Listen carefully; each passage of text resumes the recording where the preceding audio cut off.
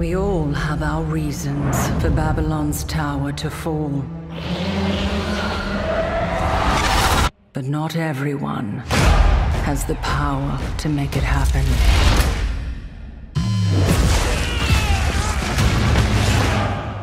You do.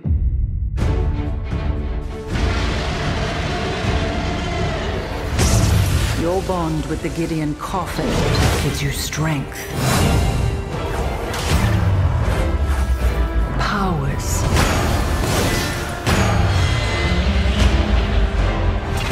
Control. The only thing you can't do is go back.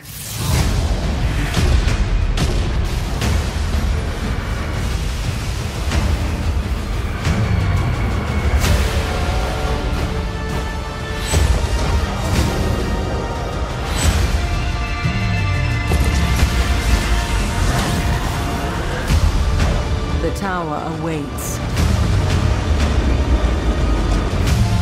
Time to ascend.